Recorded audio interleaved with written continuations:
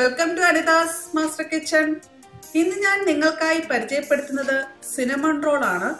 ഇതിനായിട്ട് നമുക്ക് ഒരു ബൗളിലേക്ക് മുക്കാൽ കപ്പ് ഇളം ചൂടുള്ള പാലും ഒരു മുട്ടയും കൂടെ ചേർത്ത് കൊടുക്കാം. ഇനി ഇതിലേക്ക് ചേർക്കാറുള്ളത് അൺസോൾട്ടഡ് ബട്ടറാണ് കാൽ കപ്പ് അൺസോൾട്ടഡ് ബട്ടറും ബട്ടർ എടുക്കുമ്പോൾ എപ്പോഴും റൂം ടെമ്പറേച്ചറിലുള്ള ബട്ടർ എടുക്കണം.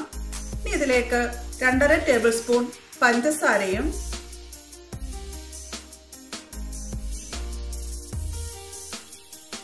ഒന്നേകാൽ ടീസ്പൂണോളം ഉപ്പും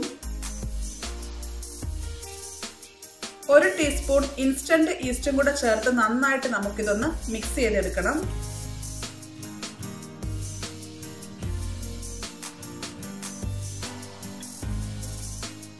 ഇനി ഇതിലേക്ക് ചേർക്കാനുള്ളത് മൈദയാണ്.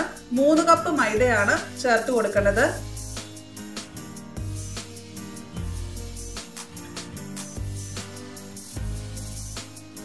ഈ മൈദ ചേർത്ത് ഒരു സ്പൂൺ ഉപയോഗിച്ച് നന്നായിട്ടൊന്ന് മിക്സ് ചെയ്യുക. ഇതെല്ലാം മിക്സ് ആയിട്ടുണ്ട്. ഇനി നമുക്കിതൊന്ന് നന്നായിട്ട് ചപ്പാത്തിക്ക് കുഴയ്ക്കുന്നത് പോലെ സോഫ്റ്റ് ആയിട്ട് കുഴച്ചെടുക്കണം. ഇത് നന്നായിട്ട് കുഴച്ചെടുത്തിട്ടുണ്ട്. ഇനി കൈകൊണ്ടൊന്ന് പ്രസ് ചെയ്ത് മൂടി അടച്ച് നമുക്കൊരു പത്ത് മിനിറ്റ് നേരം റെസ്റ്റ് ചെയ്യാനായിട്ട് വെക്കാം. ഈ സമയം കൊണ്ട് നമുക്ക് സിനമൺ റോളിന്റെ ഒരു സ്പ്രെഡിംഗ് മിക്സ് തയ്യാറാക്കണം. അതിനായിട്ട് അര കപ്പ് ബ്രൗൺ ഷുഗറും രണ്ട് ടീസ്പൂൺ കറുവാപ്പട്ട പൊടിച്ചതും കൂടെ ചേർത്ത് നന്നായിട്ട് നമുക്കിതൊന്ന് മിക്സ് ചെയ്ത് മാറ്റി വെക്കാം.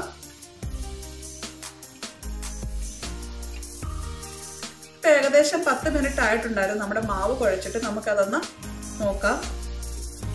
നല്ല സോഫ്റ്റ് ആയിട്ട് വന്നിട്ടുണ്ട് മാവ്. ഇത്രയും സോഫ്റ്റ് ആയിട്ട് വേണം നിങ്ങൾ കുഴയ്ക്കാനായിട്ട്. നമുക്കിത് കൗണ്ടർ ടോപ്പിലേക്ക് ഇട്ടിട്ട് നന്നായിട്ടൊന്ന് പരത്തിയെടുക്കണം. ഒരു റെക്റ്റാങ്കിൾ ഷേപ്പിൽ വേണം പരത്തിയെടുക്കാനായിട്ട്. ഷേപ്പ് നമുക്കൊന്ന് ഇതുപോലെ ഒന്ന് അഡ്ജസ്റ്റ് ചെയ്ത് കൊടുക്കാം. ഇതിന്റെ പുറത്തേക്ക് നമുക്ക് ബട്ടറാണ് സ്പ്രെഡ് ചെയ്യേണ്ടത് നന്നായിട്ട് ബട്ടർ സ്പ്രെഡ് ചെയ്യുക. അതും റൂം ടെമ്പറേച്ചറിലുള്ള ഏകദേശം ഒരു കാൽ കപ്പ് ബട്ടർ നമുക്ക് ഇതിന് പുറത്തേക്ക് സ്പ്രെഡ് ചെയ്യാനായിട്ട് ആവശ്യമുണ്ട്. നന്നായിട്ട് ഇതുപോലെ സ്പ്രെഡ് ചെയ്യുക. ഇതിന്റെ പുറത്തേക്ക് നമ്മൾ നേരത്തെ തയ്യാറാക്കി വെച്ചിരിക്കുന്ന ബ്രൗൺ ഷുഗറിന്റെ മിക്സറും ഈക്വലി നമുക്ക് സ്പ്രെഡ് ചെയ്ത് കൊടുക്കാം. ഇത് റോൾ ചെയ്തെടുക്കാം. നന്നായിട്ട് ഇതുപോലെ ചുരുട്ടി ചുരുട്ടി എടുക്കുക. രണ്ട് സൈഡ് കൊണ്ടും നന്നായിട്ട് ചുരുട്ടി ഒരു സിലിണ്ടർ ഷേപ്പിലേക്ക് നമ്മൾ ചുരുട്ടി എടുക്കണം. ചുരുട്ടി എടുത്ത് ലാസ്റ്റ് ഭാഗം നമുക്കൊന്ന് ചെറുതായിട്ട് കൈകൊണ്ട് പ്രസ് ചെയ്ത് ഒട്ടിച്ചു കൊടുക്കാം. വീണ്ടും നമുക്ക് കൈകൊണ്ട് നന്നായിട്ടൊന്ന് റോൾ ചെയ്ത് ഒരു സിലിണ്ടർ ഷേപ്പിലേക്ക് മാറ്റിയിട്ടുണ്ട്. ഇനി നമുക്ക് നമ്മുടെ റോൾസുകൾ കട്ട് ചെയ്ത് എടുക്കാം. ബേക്കിങ്ങിന് ആവശ്യത്തിനുള്ള സൈസിലുള്ള റോൾസുകളാക്കണം ഈക്വൽ സൈസസ് ആയിട്ട് വേണം കട്ട് ചെയ്യാനായിട്ട്.